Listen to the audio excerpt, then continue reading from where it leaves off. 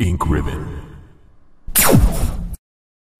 From technology to pharmaceuticals, we have several companies in the real world who seemingly have control of entire global markets. Thankfully, none of these companies are evil enough to make people sprout multiple giant eyeballs or be involved with an entire city being literally bombed. Today we're going to take a closer look at the infamous company from the Resident Evil universe that is responsible for so much destruction and death. From worldwide bases to an assortment of products, here are 50 facts about the Umbrella Corporation. The origins of Umbrella and their evil ways go back as far as the 1960s, with a lot of early research being inspired by the eugenics movements happening in Europe and North America. The three key founding members of Umbrella were Oswell Spencer, Edward Ashford, and James Marcus. In Resident Evil 5, we learned of a fourth founding member, a man named Brandon Bailey, who was a virologist and a protege of James Marcus. Unlike the other three members, he faked his death and went into hiding. As of 2017, the BSAA was unable to confirm his death and he may still be alive. Marcus, Spencer, and Bailey all went to West Africa and set up a camp and spent three months analyzing a rare breed of flowers they found in a series of caverns. These flowers were dubbed progenitor and were the base ingredient for making what would eventually be the T virus. The first discovery of the regenerative abilities of the flower were found when they added chlorine to it in a petri dish to kill it, and then noticed it began to repair itself even after it was dead. Umbrella has also created some very unique and powerful weapons, like the linear launcher, which is a shoulder mounted cannon that fires a ball of plasma. James Marcus was a very strict and serious boss, as demonstrated by his employee motto Obedience breeds discipline. Discipline breeds unity. Unity breeds power. Power is life. Umbrella has several of its own paramilitary units, including Umbrella Security Service, aka Hunk's team, and Umbrella Biohazard Countermeasure Force, or UBCS, which was Carlos and Nikolai's team. Within the UBCS was a second set of employees dubbed monitors, these were higher ups who would report back to Umbrella and included Tyrell and Nikolai, as well as Vladimir Sergey from Umbrella Chronicles. In Code Veronica, we get to have our only ever look inside the Paris Umbrella Labs during the opening cutscene. There is actually another Europe lab in France, dubbed Laboratory 6. This lab is where Luis Sera primarily worked and where the Nemesis project occurred.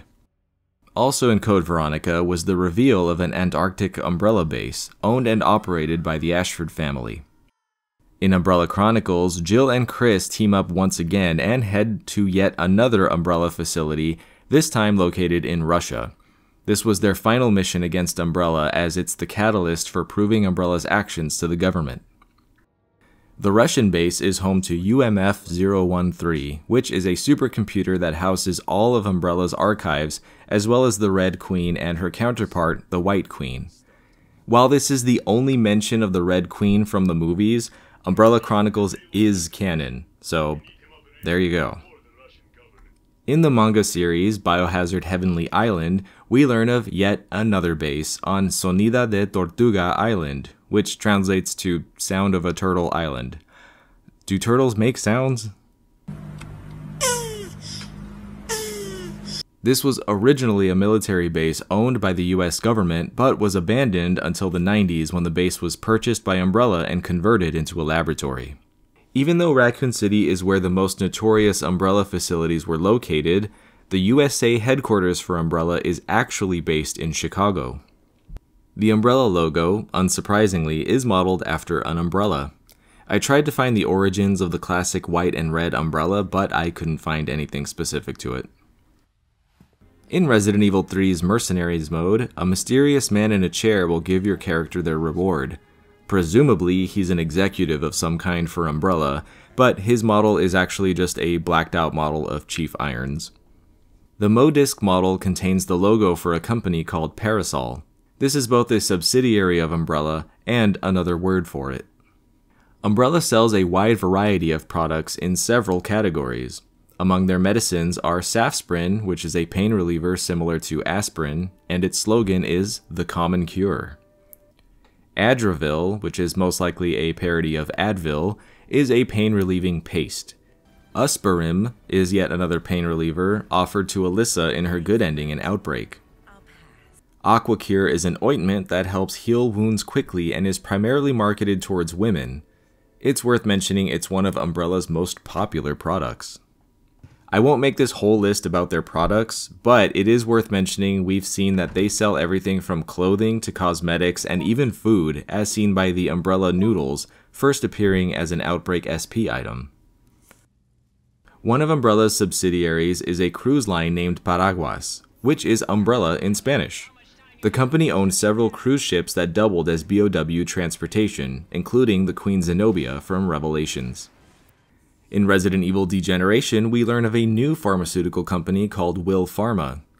Well, it turns out there's a real life company also called WilPharma, and Capcom agreed to remove all logos and references to their company in the future.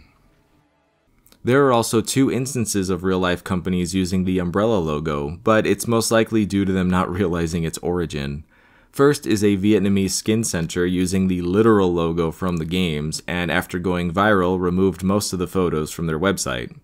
This was confirmed when a few social media sleuths tracked down the location to verify that it was indeed real. The other instance was, interestingly, a Shanghai biotech company though their logo was green instead of red. Because these images went viral in January of 2020 and due to the company's location being 800 kilometers to Wuhan, there were several conspiracy theories that this company created the pandemic. Some even claiming that it was in an effort to emulate Umbrella the way it's present in the games. This has all been fact checked and is completely false, of course. To promote the second Resident Evil film, a fake Umbrella commercial for an anti aging serum was produced. I would bet that if Umbrella focused on anti aging instead of bioweapons, they would make much, much more money.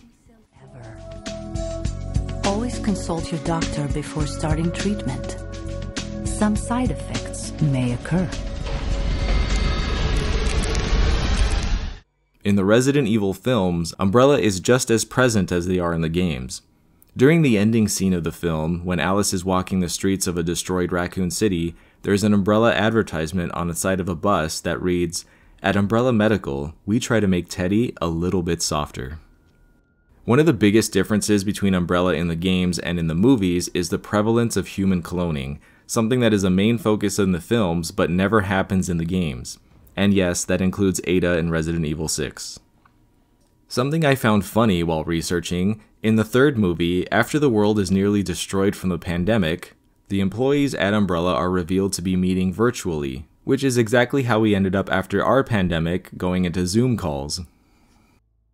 Umbrella maintains a strong control over Raccoon City, bribing both the mayor and the chief of police.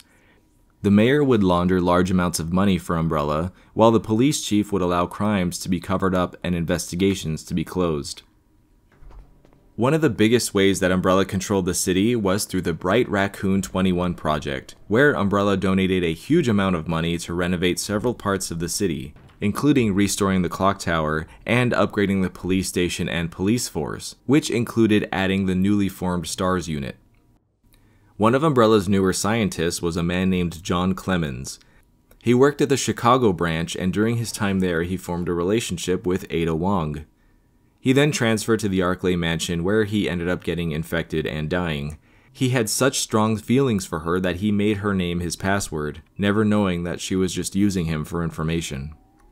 One of Umbrella's top researchers was Annette Birkin, a virologist who was hired in the 80s and worked under William Birkin to assist him in the G Virus project, eventually marrying him and having a daughter together.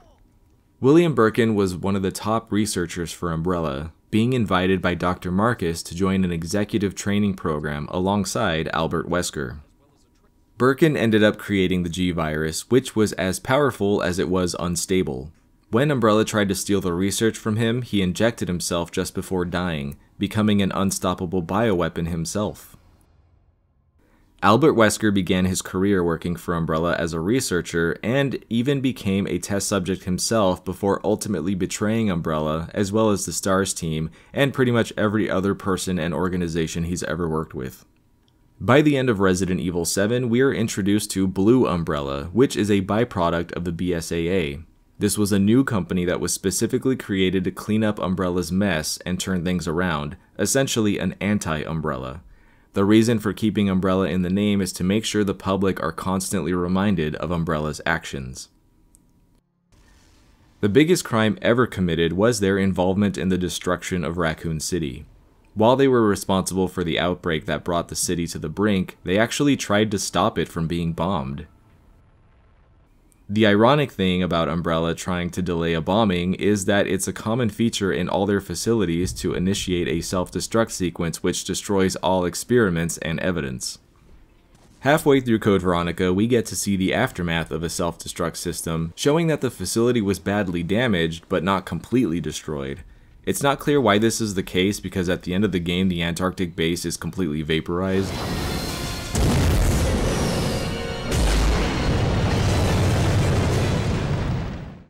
Senator Ron Davis, who we meet in the Degeneration film, and Derek Simmons, who we met in Resident Evil 6, were both the ones who suggested and approved the bombing of Raccoon City, to which Umbrella protested for more time but at that point had lost all influence over elected officials. In 2003, the biggest lawsuit against Umbrella began, dubbed the Raccoon Trials. Among key witnesses and testimony were Yoko Suzuki and Linda Baldwin from Resident Evil Outbreak. Umbrella was extremely close to covering up their crimes, claiming lack of evidence. On top of this, they used the help of false witnesses, destroyed evidence, and put the blame on the US government, but at the last moment of the trials, a man made a secret deal with the courts and provided Umbrella archives that proved their involvement. The deal was that the archives could never be shown to the public in order to protect the public. The man who made that deal and double crossed Umbrella was none other than Albert Wesker.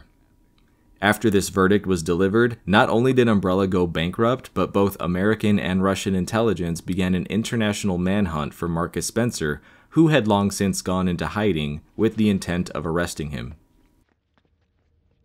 In 2004, after losing every case against it and going bankrupt, the final branches of Umbrella in Japan tried to sell the company but failed, after this, they declared their final bankruptcy and they were liquidated. It took quite a few years, but it looks like Jill was right. It's true that once the wheels of justice begin to turn, nothing can stop them. Nothing. So, as the Resident Evil franchise stands now, Umbrella is no more, and we probably won't see them again, but they had a good run. And by good, I mean evil. If you enjoyed this video, then be sure to sensually rub some Aquacure into that like button. If there's another 50 facts video you'd like to see, leave it down in the comments and it may be a future video. I hope you have a great day. Until next time, I'm Kai Morgan, and as always, thanks for watching Ink Ribbon. And a very special thank you to all of my Patreon supporters and YouTube members. Your extra support means the world to me and helps me keep making content for you guys.